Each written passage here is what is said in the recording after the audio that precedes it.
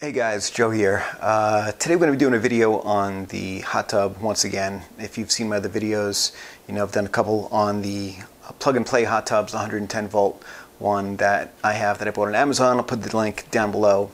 Uh, so I'm not going to go into the setup, watch my other videos for that. This video is going to be more about the how much power it uses, what you can expect to pay a month, because everyone always worries about with the hot tub um, how much more it's going to cost as far as running the electricity, running the tub, the heater, the jets, how often we use it. So one of the great things about these plug and play hot tubs is you know just put them in the backyard, plug them in full of full of water, and, and you're on your way. There's pros to that. There's also cons to not converting to 220. Some say it costs more to run it at 110 because you're using uh, more current, you know, because you're drawing half the half the voltage, so you have more current. If they say if you put it to 220, you're doubling the voltage, but you're cutting the current in half. But the electric company charges you for Kill A Watt hours, not by current and not by voltage. So we're going to discuss that and see exactly how this how this hot tub works. We're going to be using the Kill A Watt, which maybe I'll superimpose something over there, um, the kilowatt meter, so we can see how much the tub uses when it's running, when it's idle. We're going to do it over a 24 hour period and we're going to use the tub one time for uh, a 20 minute test, uh, which is you know about the average time in a, in a, hot tub. So that's what this test is going to be based on. All right, so for this test, these conditions may be different from yours. So of course the results are going to be different depending where you live. This is currently winter here in New York. I live on Long Island.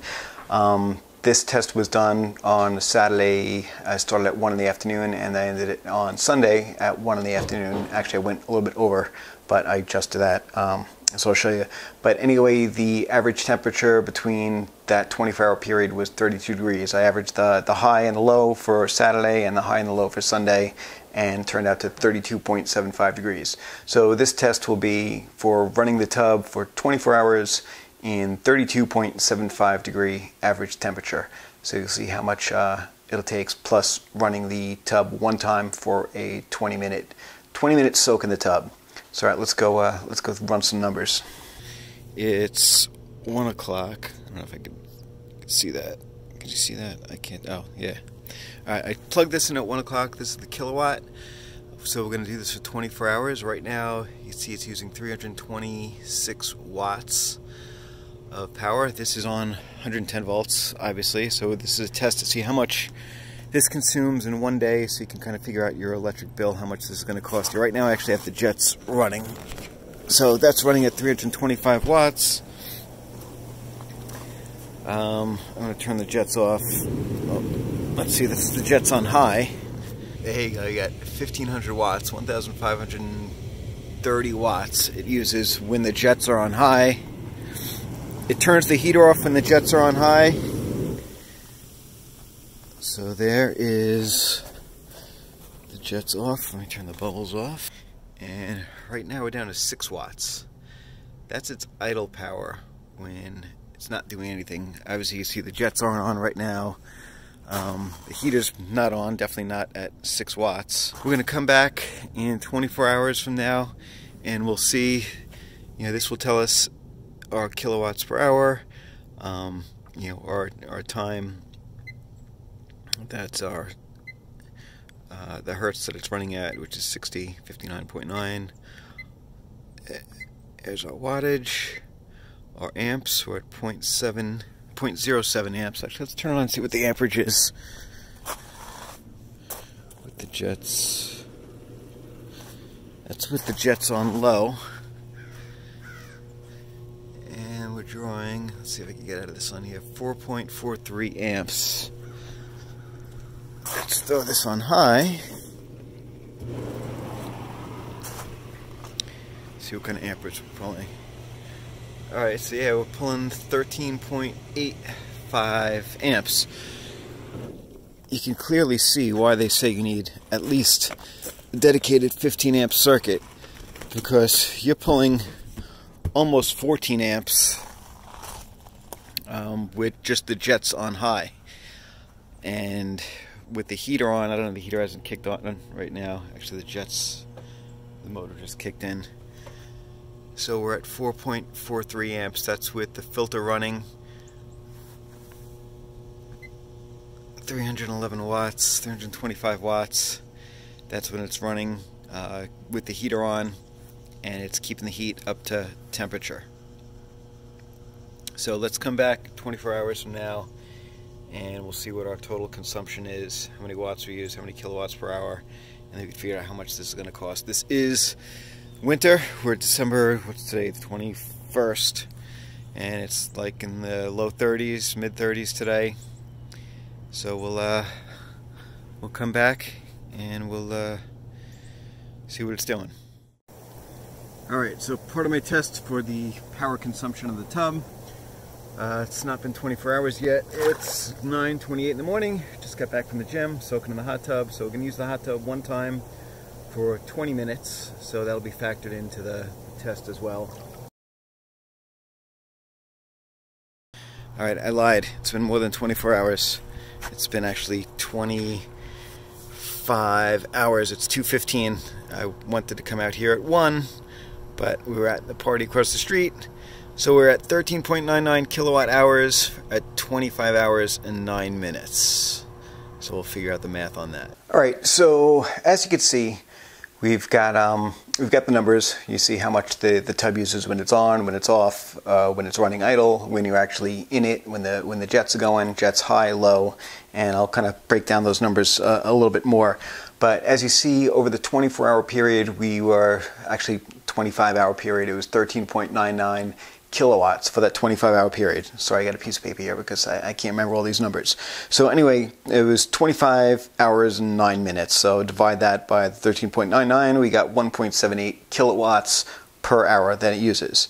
So we divide 24, uh, 24 hours divided by 1.78, we come out with 13.48 kilowatt hours for a 24 hour period since I went over by that one hour. So averages out to 13.48 kilowatt hours for 24 hours in 32 degree weather using the tub one time for 20 minutes. Um, at 102 degrees, I forgot to mention that. I do run, I keep my tub at 102 degrees. You could put it to 104, uh, which is the max allowed by law for any hot tub. But I keep mine at 102. Anything hotter than that, I find even 102 to be, you know, uh, pretty, pretty hot when you first get in there. Um, so anyway, here we use PSE&G for electric, and our current rates are 10 cents per kilowatt hour. It's like 0.106 something, blah, blah, blah, whatever. So, the drum roll, 10 cents per kilowatt hour times 13.48 kilowatt hours, that's what we used in a 24-hour period, equals $1.34 per day to run the tub. Uh, using it one time for 20 minutes. The rest of the time, just running idle and cycling and keeping the temperature at 102 degrees. So, $1.34 per day, multiply that by, let's say, 31 day month, that equals $41.79 a month. Now, that's it, it sounds like a lot, and it, it's I'd say that's accurate because my electric bills have jumped up about that much uh, when I compare it to my last year's electric bills. In the winter, we really don't use much electric here.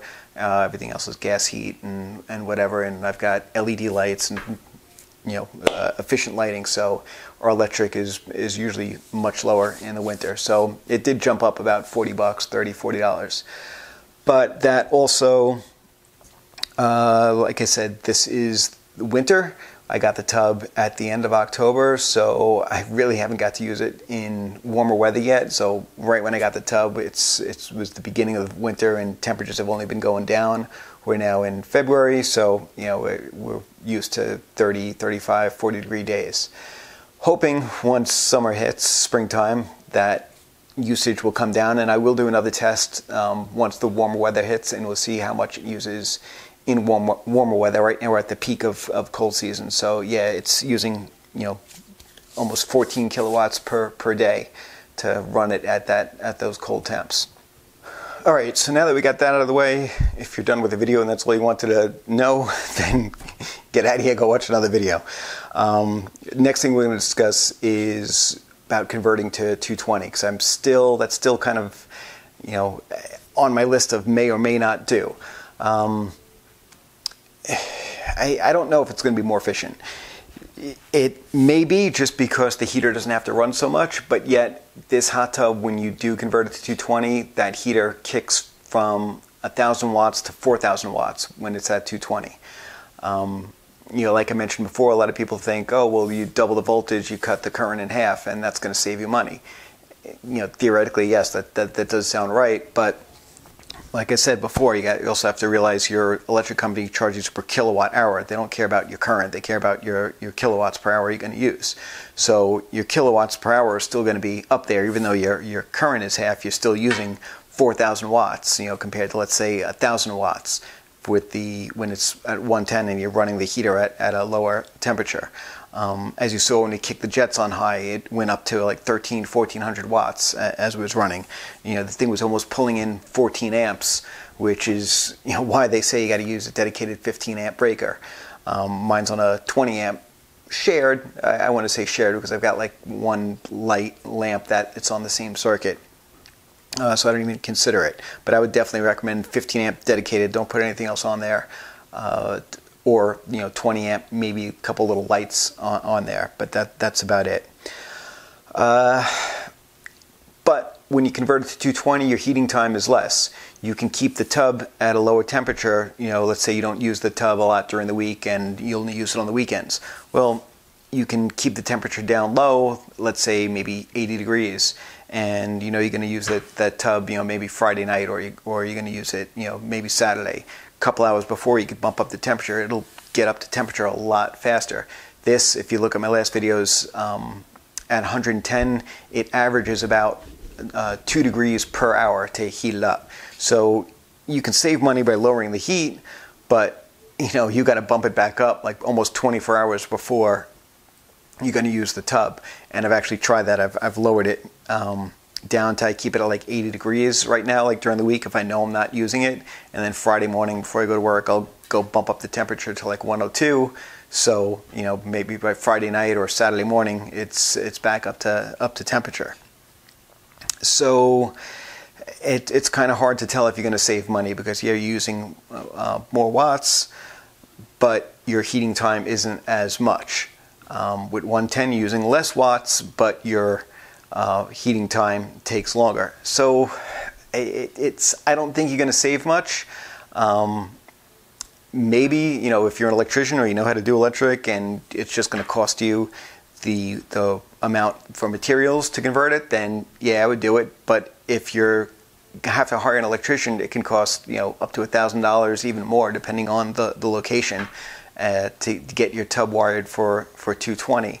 You're probably not going to see that uh, money made back over the over the time if you didn't convert it. So I, I don't know. For me, I might just leave it at 110 for now, and we'll, let's see what happens in the summer. Check back. We'll we'll check another video and we'll we'll measure the wattage and see what kind of you know what kind of wattage it's pulling per day.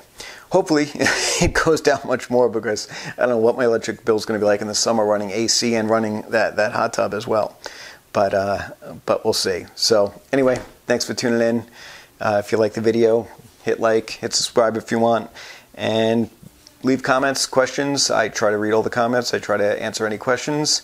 And uh, thanks for tuning in. Later.